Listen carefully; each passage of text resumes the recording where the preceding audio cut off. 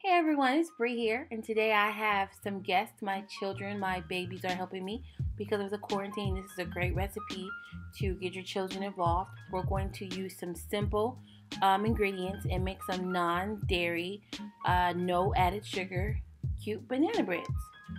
They're delicious, they're soft, and of course, they're healthy. So, the first thing you're going to do is preheat your oven to 350 degrees. You're going to need three large ripe bananas three eggs if you're doing dairy, applesauce unsweetened if you're doing non dairy, vanilla extract, cinnamon, of course, baking powder, baking soda, pink Himalayan sea salt, and almond flour. I milled my own, but you can use store bought, it doesn't matter. Nutmeg and chia seeds.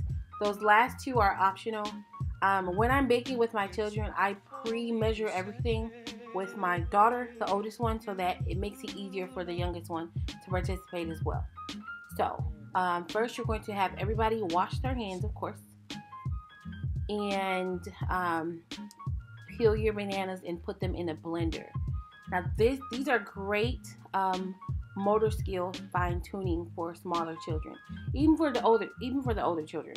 Um, most of the time, I cut up their fruit for them, um, but to get them to do it themselves, their their hands will get messy.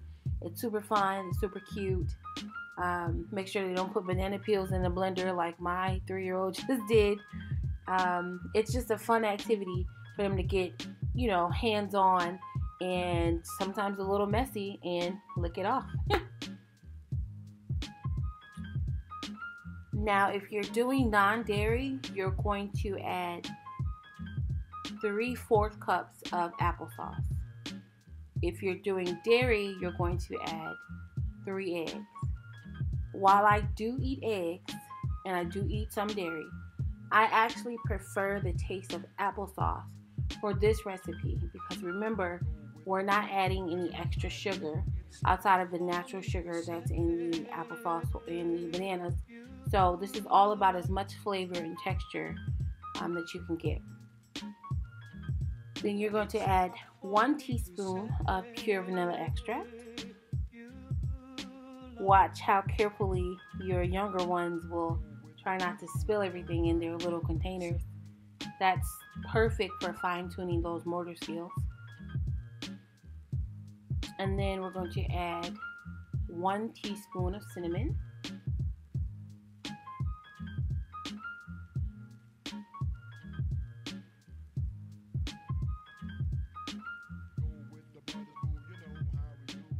And we're going to add a half a teaspoon of baking powder.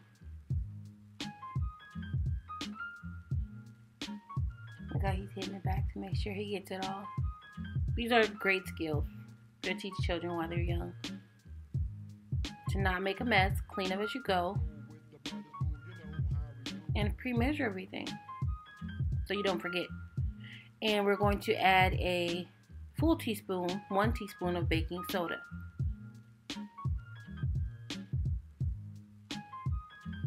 Then we're going to add a fourth of teaspoon of pink Himalayan salt. And we're going to add a teaspoon of nutmeg. That was easy. Cleanup's easy. Now, um, you, for this, you could use a food processor, but I'll explain to you later why we use the blender. Um, this is my favorite blender from Aldi, by the way. Now you're going to blend all of these ingredients until smooth. You don't really have to worry about over blending, but it should only take you less than two minutes. I just cranked up the speed just a little bit and then crank down the speed. You want to blend until everything is completely smooth. Now you're going to start adding your three cups of almond flour, about a cup at a time. You could do it all at once, but you'll be scraping the sides a lot more. And it might take a little bit longer. You don't want to over mix this because remember you're still making a batter like a braid. You don't want it to be like smoothie um, like a pie or anything. So it's still going to be pretty thick. So I pulsed it for the rest of the way. Scrape, pulse, scrape, pulse. Shake it up, pulse. I just want to add though that this was one of our homeschooling activities for the day. This is a life skill how to cook and how to prepare food for yourself.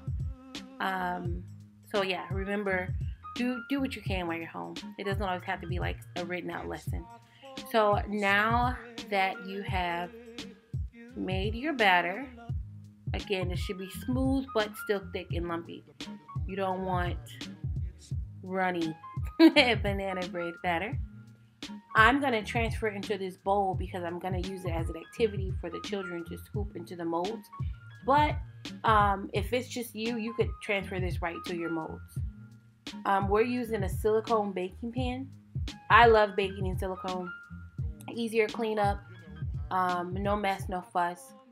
And these little silicone compartments, again, this is a great tool. All of, you know, even teenagers need to fine tune how to, you know, not make a mess while they're baking, how to clean up after themselves.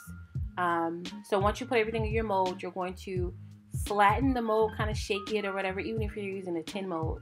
Shake it really well and to get those air bubbles out and flatten everything. And then you can sprinkle your chia, chia seeds on top. Bake them at 350 for 25 minutes. If you like a super firm bread, I would bake it for 30. But my children like soft banana bread, so bake it at 25 and you're all done. Enjoy, guys. Let me know how you like them. This is a, a base. You can always tweak it as you go. Uh, and as always, peace, love, and light. Thanks for watching. Bye.